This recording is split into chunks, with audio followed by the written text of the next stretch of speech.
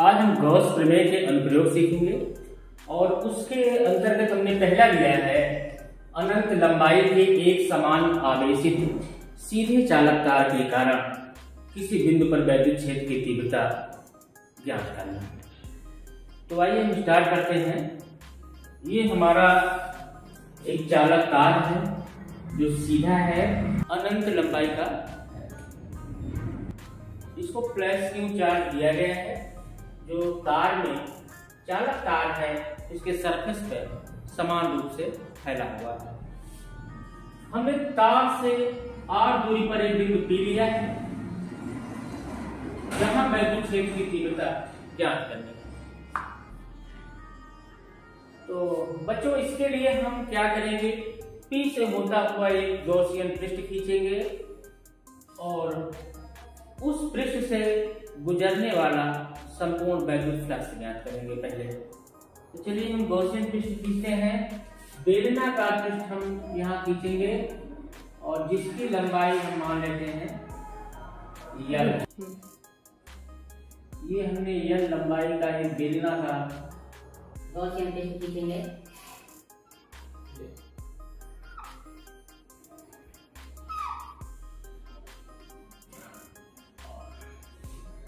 बेलन के बारे में आप सब जानते हैं। इसमें दो समतल पृष्ठ हैं और एक इसका वक्र पृष्ठ है। तो वक्र पृष्ठ जो कर्व एरिया है और ये प्लेन एरिया है, दो। क्या करेंगे? देखिए, इस पहले हम वक्र पृष्ठ पर एक लघु एरिया ले लेते हैं और वहाँ से गुजरने वाला, मान लो हमने लघु एरिया ले लिया डी ए यहाँ से गुजरने वाला फ्लक्स निकालेंगे। हम इसी तरह से समतल पृष्ठ पर भी देखो, हमने यहाँ पर वक्र पृष्ठ पर कहीं पर भी ले सकते हैं। हमने यहाँ पर एक लघु एरिया डीए लिया और इसका क्षेत्रफल वेक्टर हम खींचेंगे। तो भैया, क्षेत्रफल वेक्टर क्या होता है? एरिया पर लंब दिशा में क्षेत्रफल वेक्टर की दिशा इधर होगी। D A vector. आवेश यहाँ पर है। आवेशित चालक तार अंदर है। और वैद्युत क्षेत्र की दिशा इधर होगी ई तो हमने देखा है कि यहाँ पर जो ई डीए है ई और डीए की दिशा है, इसके बीच में ये दोनों एक ही दिशा में है, इनके बीच का कोण शून्य है? वक्र पृष्ठ पर एक लघु एरिया डीए लिया। डीए का क्षेत्रफल वेक्टर हमारा डीए इधर है, वैद्युत क्षेत्र भी इधर ही है। दोनों के बीच का कोण यहाँ पर ज़ीरो है। और यहाँ पर भी हमने समतल पृष्ठ पर लिया, यहाँ भी लेंगे और यहाँ भी लेंगे। एक का बना है, दूसरे का इस तरह बनेगा। तो यहाँ एरिया वेक्टर है, वो एकदम लंबवत है और वैद्युत क्षेत्र की दिशा ये है। यानी कि इन दोनों के बीच कोण कितना है?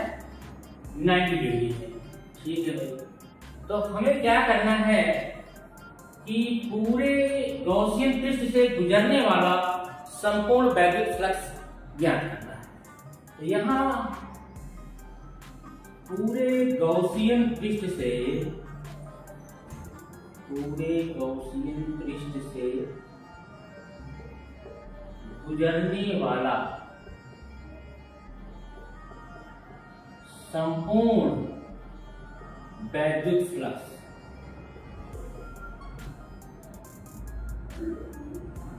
आई का मान क्या होगा? देखो बेलन में क्या होता है? दो समतल पृष्ठ है और एक वक्र पृष्ठ है। तो हम पहले वक्र वक्र पृष्ठ से गुजरने वाले फ्लक्स और समतल पृष्ठ से गुजरने वाले फ्लक्सों को जोड़ेंगे। वही होगा हमारे पूरे गौसियन पृष्ठ से गुजरने वाला संपूर्ण फ्लक्स। अब ध्यान से समझना है। इसको हम लिख रहे हैं दो गुणे समतल पृष्ठों से गुजरने वाला तो हम इतना बाढ़ दे रहे हैं। गुजरने वाला वक्र वक्र पृष्ठ से गुजरने वाला plus five is D five even का मान क्या होगा? यहाँ से देखो बेटा, क्या होता है formula E dot D A ये जो वेक्टर का अदिश गुणा होता है, ये होगा ई डी ए का थीटा तो ई डी ए कास यहाँ 90 है, समतल पृष्ठ में देखिए। तो कास 90 ज़ीरो होता है तो ये पूरा क्या हो जाएगा? ज़ीरो हो जाएगा। तो ये वैल्यू तो हमारी ज़ीरो हो जाएगी। डी फाइव ई टू की हम बात कर लेते हैं, यहाँ देखिए। डी फाइव ई टू जब करेंगे तो यह लेकिन ई डॉट डी ए जो कोण है दोनों के बीच, वो ज़ीरो है। ये काश ज़ीरो तो ज़ीरो नहीं होता काश ज़ीरो तो एक होता है। तो ये ए डी ए हो जाएगा, ई डी ए। अब ये वैल्यू सब वहाँ और ये वाले वैल्यू यहाँ रख देते हैं। तो फाइव बराबर हमारा आ गया टू ये हो गया ज़ीरो और ये डी फाइव टू का मान आया है ई डी ए फाइव फिर क्या होगा? ये खत्म हो गया। ई डी ए तो आप जानते हैं, समाकलन पढ़े हैं। क्या होता है? वन इंटू डी एक्स अगर हमको करना हो तो कैसी वैल्यू आती है? वन क्या होता है? एक्स की पावर ज़ीरो डी एक्स लिख सकते हैं। और पूरे में प्लस वन तो क्या आ गया? एक्स आ गया, है ना? तो वन इंटू डी एक्स अगर एक्स होता है तो अगर ई e बाहर आ गया तो वन इंटू डी ए कितना होगा? ए होगा। बहुत बढ़िया। ए क्या है? ए है बेलन का, जो बेलनाकार पृष्ठ है है ना? बेलन का वक्र पृष्ठ। वक्र पृष्ठ वक्र पृष्ठ की क्षेत्रफल या वक्र पृष्ठ हम कहेंगे, और इसका मान होता है टू पाई आर। और हमने जो ये बेलनाकार गौसियन पृष्ठ खींचा है, इसकी लंबाई यर मान लेते हैं तो टू पाई आर, और ये एच की जगह पर यहाँ यर यहाँ तक समझ गए होंगे? अब आइए देखिए गौस प्रमेय क्या होती है? गौस प्रमेय ये है कि ये कोई आदेश है और ये क्यों और इससे, इसके घोड़े घेरे हुए। ये कोई आदेश क्यों है? यहाँ पर स्थित है, एक गौसियन पृष्ठ से परिबद्ध है तो इससे गुजरने वाला जो संपूर्ण फ्लक्स होता है, वो क्या होता है? इस परिबद्ध आवेश का एक बटा एप्सिलॉन ज़ीरो होता है। ये है गॉस थ्योरम। तो फाइव ई की जगह पे हम लिख सकते हैं क्यू अपॉन एप्सिलॉन ज़ीरो। जहाँ क्यों क्या है? इस गॉसियन सरफेस से परिबद्ध आवेश है। और ई e हमारा वैद्युत क्षेत्र की तीव्रता है। ए क्या है? टू पाई आर या। हमें ई e का वैल्यू निकालना है। तो पछांतर करेंगे तो क्या आएगा बेटा क्यू बटा एप्सिलॉन ज़ीरो और इसके साथ ये आ जाएगा टू पाई आर की जानते होंगे आप,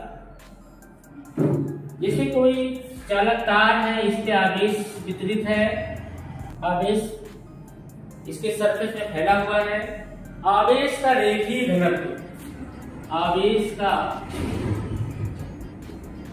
रेखीय घनत्व, क्या होता है, जानते हैं? लैम्डा लिखते हैं, एकांक लंबाई में वितरित आवेश की मात्रा को आवेश का रेखीय घनत्व कहते हैं। इसे लैम्डा से व्यक्त करते हैं और लैम्डा होता है क्यू बाई तो अब देखिएगा, हम यहाँ क्या करने वाले हैं।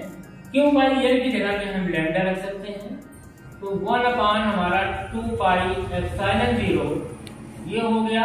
और क्यू बाई एल की जगह लैम्डा हो गया। बटा आर हो गया। सुविधा के लिए हमें one upon four, five epsilon zero का मान रखने में सुविधा होती है, क्योंकि उसका मान नौ दस घाटे नौ होता है। इसलिए हम दो से ऊपर नीचे गुणा कर लेते हैं बेटा। दो से ऊपर नीचे जो गुणा करेंगे तो ये हमारा हो जाएगा क्या? One upon four five epsilon zero into two lambda upon R. ये हमारा हो गया अनंत लंबाई के सीधे चालक तार के कारण आर दूरी पर वैद्युत क्षेत्र की तीव्रता का व्यंजन। आपने देखा कि गौस प्रमेय के अनुप्रयोग में हमने ये क्या सिद्ध किया कि एक अनंत लंबाई सीधा चालक तार था, जिसके कारण आर दूरी पर वैद्युत क्षेत्र की तीव्रता का फार्मूला हमने बनाया है। किस तरह से बनाया प्रक्रिया आप समझ गए होंगे। हमने एक पृष्ठ खींचा है इसमें एक कर्व एरिया हमने छोटा सा एरिया डीए लिया, जिसके वेक्टर की दिशा आप देख रहे हैं, यहाँ पे थीटा ज़ीरो है, यहाँ से गुजरने वाला प्लस हमने डी फाइव टू माना, और इसका मान ई डीए आ गया। हमने सत्तर फीट पे जैसे यहाँ लिया, यहाँ भी ले सकते थे, या दोनों जगह ले सकते थे, इसलिए हमने वहाँ दो से मल्टीप्लाई कर दिया। हमने यहाँ पर ई वेक्टर की दिशा इधर पाई, और डी ए वेक्टर की दिशा यहाँ थीटा 90 है। डी फाइव वन का मान निकला ज़ीरो आ गया। फिर हम दो गुणे सत्तर फीट से गुजरने वाला प्लस धनराशि से गुजरने वाला प्लस यहाँ वैल्यू हमने रख दिया, ये ज़ीरो हो गया। वन इंटू डी ए आपने देख लिया इसकी तरफ़ से? ए हो गया ए क्या है? बेलन का पृष्ठीय क्षेत्रफल है, जिसका मान 2 पाई आर हमने रख दिया। इस तरह से गॉस थ्योरम का मान क्या होता है? फाई ही। गॉस थ्योरम क्या होती है? फाई जो होगा, क्यों? मान फलन ज़ीरो हो गया। यहाँ से इनका मान हमारा ये आ गया। उसके बाद हमने सुविधा के लिए फार्मूले में टू से ऊपर नीचे गुणा कर दिया और हमारा फार्मूला बन गया। ई बराबर वन पाँच फाइव फलन zero. Two lambda by R video को पसंद आई हो तो इसे लाइक करें और चैनल सब्सक्राइब करें। धन्यवाद।